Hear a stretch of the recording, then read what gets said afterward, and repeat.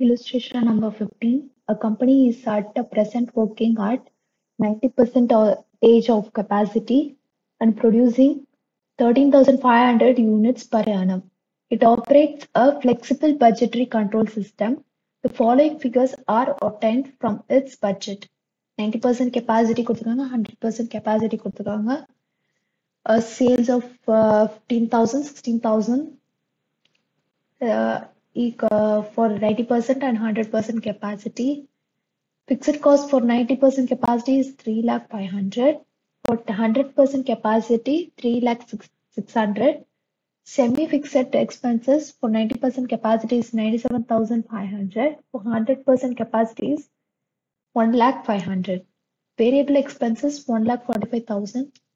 And uh, for 100% capacity is 1 lakh 49,500. Units made for 90% capacity is 13.500. 13,500. For 100% capacity is 15,000. Labor and material cost per unit are constant under present condition. Profit margin is 10%. You are required to determine the differential cost of producing 1,500 units by increasing capital to capacity to 100% What would you recommend for an export price for these 1,500 units, taking into account that overseas prices are much lower than indigenous prices? So இப்போ இந்த illustration 15 ல நம்மளுக்கு வந்து நார்மலாக இப்போ வந்து capacity ninety percent capacity hundred percent capacity கொடுத்துருக்காங்க ninety percent கெப்பாசிட்டியில் thirteen thousand five hundred units வந்து ப்ரொடியூஸ் பண்ணுறாங்க Sales of fifteen fifteen lakhs கொடுத்துருக்காங்க. ஸோ அப்போது சேல்ஸ் ஃபிஃப்டீன் லேக்ஸ் கொடுத்துருக்காங்க. யூனிட்ஸ் ஆஃப் எத்தனை யூனிட்ஸ்னால் thirteen thousand five hundred units பண்ணுறாங்க அப்போது அதோட சே சேல்ஸ் பர் யூனிட் வந்து செல்லிங் ப பர் யூனிட் வந்து எவ்வளோ இருக்குன்னா hundred and eleven point eleven வச்சுக்கலாம். அந்த லெவன் லெவன் வரும். நான் டெசிமலுக்கு டெக்ஸ் டூ டிஜிட் மட்டும் நான் எடுத்திருக்கேன். ஸோ நம்மளுக்கு இவ்வளோ தான் வருது. அப்புறம் கொஷினில் இப்போ வந்து பாயிண்ட்ஸ் வந்து அடிஷ்னல் இன்ஃபர்மேஷன் மாதிரி கொடுத்துருக்காங்க. ப்ராஃபிட் மார்ஜின் டென் பர்சன்ட் வந்து எடுத்துக்கணும்னு சொல்லியிருக்காங்க. Next you are required to determine a differential cost of producing thousand five hundred units by increasing capacity to hundred capacity hundred percent வந்து கெப்பா அதாவது இப்போ இன்க்ரிமெண்டல் கா அதாவது differential cost means nothing but your incremental cost so இப்போ நீங்கள் already எக்ஸிஸ்டிங்காக வந்து தௌசண்ட் ஃபைவ் ஹண்ட்ரட் யூனிட்ஸ் இருக்குது sorry thirteen thousand five hundred units இருக்குது இப்போ அதில் வந்து thousand five hundred units increase ஆச்சுன்னா அதோட காஸ்ட் பெர் யூனிட் வந்து எவ்வளோ இருக்குன்றதை நம்ம வந்து கண்டுபிடிக்க சொல்லியிருக்காங்க ஏ பாயிண்ட்ல கொஷினில் நெக்ஸ்ட்டு பி பாயிண்ட்ல வந்து என்ன கேட்டிருக்காங்கன்னா uh, what would you recommend for the export price for this thousand five hundred units taking into account that overseas price are much lower than indigenous prices so இப்போ இதே இன்க்ரிமெண்டல் யூனிட் வந்து இப்போ நீங்கள் produce பண்ணீங்கன்னா அந்த cost per unit வந்து இப்போ நீங்கள் அதை எக்ஸ்போர்ட் பண்ணுறதா இருந்தால் இப்போ நீங்கள் வந்து அந்த காஸ்ட் per யூனிட் வந்து உங்களுக்கு வந்து கம்மியாக இருக்கா இல்லை ஜாஸ்தியாக இருக்கா? ஸோ இன்கேஸ் அது வந்து உங்களுக்கு இப்போ எப்படின்னா இப்போ ஹண்ட்ரட் ருபீஸ் உங்களுக்கு வந்து இப்போ காஸ்ட் வந்து எடுத்துகிட்டு டென் ருபீஸ் உங்களுக்கு வந்து சாரி சாரி இப்போது thousand five hundred you units வந்து இன்க்ரிமெண்டலில் இருந்துச்சுன்னா உங்களுக்கு காஸ்ட் பர் யூனிட் வந்து எவ்வளோ இருக்குன்றதை இது கண்டுபிடிக்க சொல்லியிருக்காங்க. இன்கேஸ் அது உங்களுக்கு ஒரு ஒன் ஒன் பைஸே உங்களுக்கு வந்து அது ப்ராஃபிட்டபுளாக இருந்தாலும் அது பண்ணுறது வந்து பண்ணலாம்.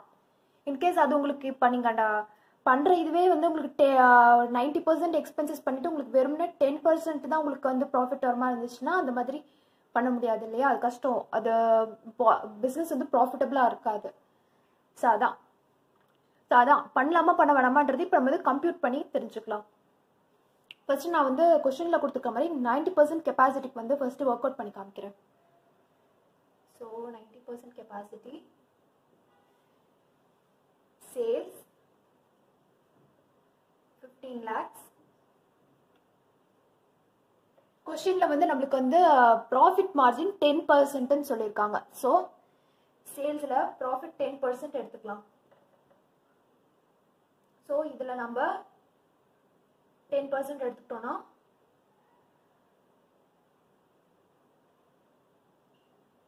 lakh fifty thousand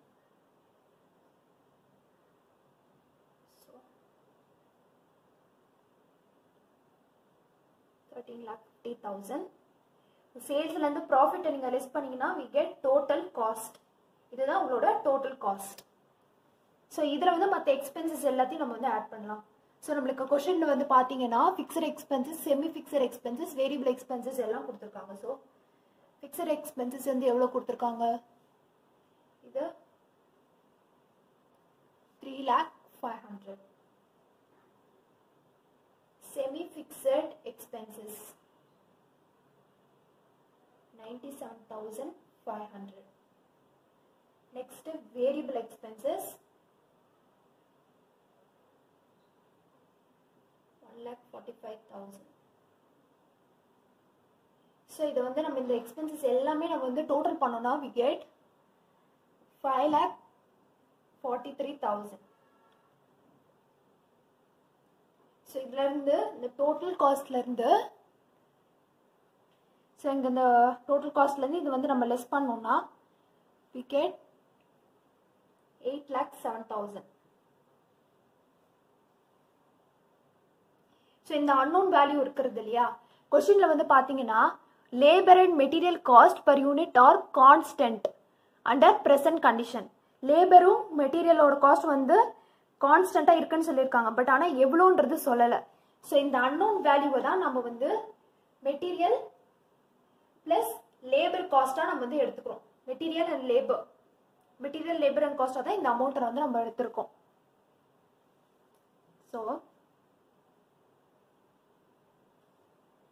இப்போ தௌசண்ட் ஃபைவ் ஹண்ட்ரட் யூனிட்ஸ் வந்து நம்மளுக்கு இன்க்ரிமெண்ட்ல ஆச்சுன்னா அதுக்கான காஸ்ட் பர் யூனிட்டை நம்ம எப்படின்றத இப்போ கண்டுபிடிக்கலாம்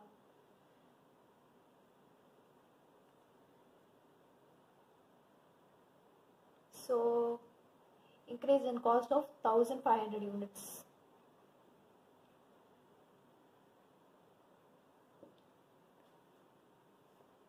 So இதில் வந்து மெட்டீரியல் அண்ட் லேபர் இதே மெட்டீரியல் லேபர் எப்படி கண்டுபிடிக்கலாம்னா இப்போ இங்கே ஆல்ரெடி நைன்டி பர்சன்ட் கெப்பாசிட்டி எவ்வளோ இருக்குது எயிட் லேக் செவன் தௌசண்ட்னு இருக்கு. நம்ம வந்து கண்டுபிடிச்சிருக்கோம்.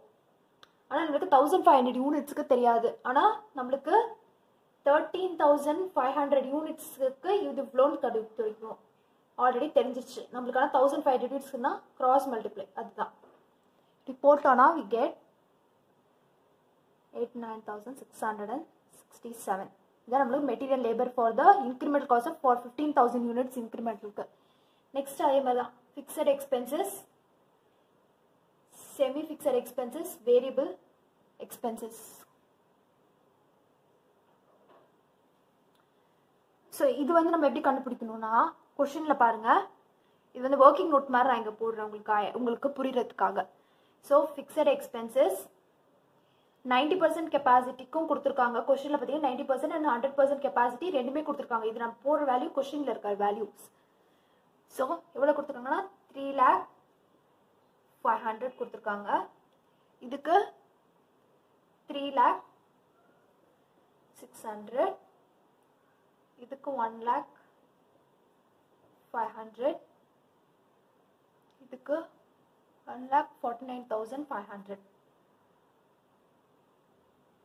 fixed expenses இது seven thousand five hundred exam எப்படிலாம் எழுத்து எழுதணும் தேவையில்ல. ஜஸ்ட் இதை நான் உங்களுக்கு கேல்குலேஷன் எப்படி பண்ணணுன்றதுக்காக நான் இதை எடுத்து எழுதுறேன்.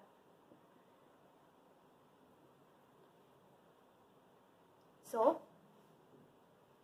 இப்போ இங்க இந்த வந்து இன்க்ரிமெண்ட்ல வந்து நம்ம அந்த தௌசண்ட் ஃபைவ் ஹண்ட்ரட் யூனிட்ஸ்க்கு நம்ம வந்து எப்படி கண்டுபிடிக்கணும்னா நைன்டி பர்சன்ட் கெப்பாசிட்டி கொடுத்துருக்காங்க ஹண்ட்ரட் பர்சன்ட் கெப்பாசிட்டி கொடுத்துருக்காங்க. ஓகேங்களா ஸோ இதோட டிஃப்ரென்ஸ் அமௌண்ட்டை தான் நம்ம வந்து இங்கே போடணும். ஸோ இதுக்கும் நைன்டி பர்சன்ட்டுக்கும் இந்த ஹண்ட்ரட் பர்சன்ட்க்கு எவ்வளோ டிஃப்ரென்ஸ் இருக்கு? ஹண்ட்ரட் ருபீஸ் டிஃப்ரென்ஸ் இருக்கா? ஸோ இந்த ஹண்ட்ரடை இங்கே போஸ்ட் பண்ணுவோம். அதே மாதிரி நைன்டி செவன் தௌசண்ட் ஃபைவ் ஹண்ட்ரட்லையும் ஒன் லேக் ஃபைவ் ஹண்ட்ரட்லையும் எவ்வளோ டிஃப்ரென்ஸ் இருக்கு?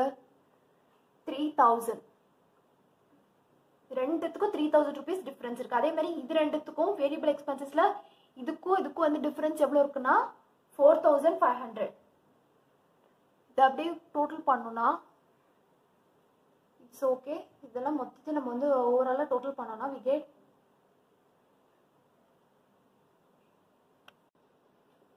seven thousand six hundred so இது ரெண்டுத்தையும் நம்ம ஆட் பண்ணோம்னா டோட்டலாக நம்மளுக்கு காஸ்ட் வந்து ninety seven thousand two sixty seven week so per unit cost நம்ம எப்படி ப்ரைஸ் நம்ம வந்து எப்படி கண்டுபிடிக்கணும்னா டோட்டல் காஸ்ட் இப்போ நம்ம கண்டுபிடிச்சோம் இல்லையா? Ninety seven thousand two sixty seven divided by எவ்வளோ units thousand five hundred units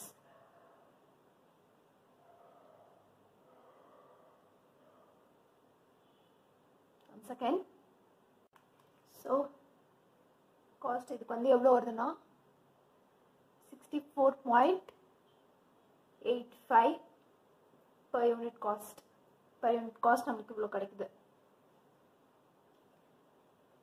நம்மளுக்கு யூஸ்வலாக செல்லிங் ப்ரைஸ் வந்து எவ்வளோ இருந்துச்சுன்னா ஹண்ட்ரட் அண்ட் லெவன் இருக்குது ஸோ இப்போ நம்ம புதுசாக இப்போ வந்து இப்போ வந்து க லோக்கலில் வந்து இப்போ நம்ம வந்து ஹண்ட்ரட் ருபீஸ்ன்னு ஃபிக்ஸ் பண்ணிக்கோ. இவ்வளோ தான் நம்ம வந்து லோக்கலில் வந்து இவ்வளோ தான் வந்து சேல் பண்ணுறோம் இவ்வளோ ப்ரைஸ்க்கு தான் காஸ்ட் பர் யூனிட் ஆனால் இப்போ லோக்கலில் வந்து இப்போ இப்போ ஒருத்த இப்போ வந்து ஃபார் எக்ஸாம்பிள் ஒருத்தருக்கு வந்து நம்ம இந்த ரேட்டுக்கு வந்து இப்போ விற்றோம்னா மார்க்கெட் ரேட்டை இப்போ லோக்கலில் சொல்கிறேன் லோக்கலில் இந்த மாதிரி விற்றோம்னா மற்றவங்களுக்கு நம்ம சப்ளை பண்ணுறோம் மற்ற சப்ளை அவங்களாம் வந்து கண்டிப்பாக சண்டைக்கு வருவாங்க கம்பெனியில் நீங்கள் என்ன அவங்களுக்கு மட்டும் இந்த இந்த நெகோஷியேட் பண்ணி கொடுக்குறீங்க? எங்களுக்கு இது நெகோஷியேட் பண்ணி கொடுக்க மாட்டீங்களா? இந்த ப்ரைஸில் வந்து அவங்களும் வந்து கேட்பாங்க. ஆனால் இதே ப்ரைஸை வந்து இந்த இதே ப்ரைஸ் வந்து மற்றவங்களுக்கு கொடுத்தீங்கன்னா கம்பெனிக்கு வந்து ப்ராஃபிட்டபுளாக இருக்காது. லாஸில் தான் முடியும். பட் ஆனால் இப்போ நீங்கள் எக்ஸ்போர்ட் பண்ணும்போது எக்ஸ்போர்ட் சேல்ஸ் எக்ஸ்போர்ட் சேல்ஸ் பண்ணும்போது எக்ஸ்போர்ட் நம்ம வந்து மினிமமாக வந்து ஹண்ட்ரட்னு வச்சுருப்போம் எக்ஸ்போர்ட் சேல்ஸுக்கு ஹண்ட்ரட்னு வச்சுருப்போம். ஆனால் நம்மளுக்கு வந்து கிடச்சிக்க நம்மளுக்கான போட்டை போட்டு நம்ம கம்ப்யூட் பண்ணதில் நமக்கு sixty four point eight five so நம்மளுக்கு வந்து இந்த பாயிண்ட் இப்போ செகண்ட் பாயிண்ட் வந்து அக்செப்ட் பண்ணலாமா வேணாமான்றதுனா அக்செப்ட் பண்ணலாம். ஏன்னா இது நம்மளுக்கு ப்ராஃபிட்டபிள் தான். ஏன்னா நம்மளுக்கு காஸ்ட் வந்து கம்மியாக தான் இருக்குது thousand five hundred units increment பண்ணி நம்மளுக்கு வந்து இவ்வளோ தான் வந்திருக்கு ஸோ இட்ஸ் ப்ராஃபிட்டபிள் ஸோ இதனால நம்ம வந்து எக்ஸ்போர்ட் ப்ரா வந்து நம்ம வந்து அக்செப்ட் பண்ணிக்கலாம். ஸோ இதுதான் ஆன்சர் இதுக்கு.